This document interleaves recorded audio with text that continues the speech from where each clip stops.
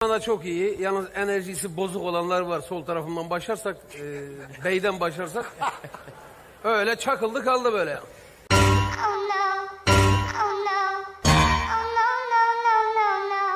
Tabii ki yokluğunuzda büyük üzüntü duyuyoruz. Sayın Zamparator, pardon imparator. Hoşuna gitti ağzın kulaklarında. Acele giden öküz harmana pisler.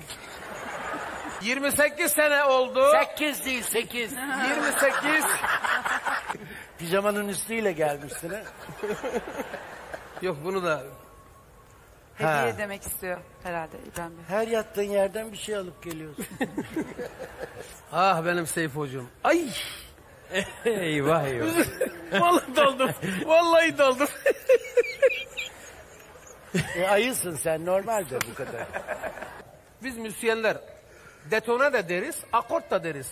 Şimdi akortumuzu yapalım dediğimiz zaman niye akort yapılır? Sazların e, kimisi tizdir, kimisi pestir, kimisi şeydir ya dengesiz olduğu için. Ses de budur yani. Biz kendi aramızda akort da deriz, detone de deriz. Bazı köşe, köşe yazarlarımız herhalde müzik anlayışları biraz kıt olacak. Beyefendi Yine- sazla ses arasında fark vardır. Akort saz içindir. Detone ses içindir. Burada bir müzisyen var. Olsun ben Ee, müziğe falan tanımıyorum.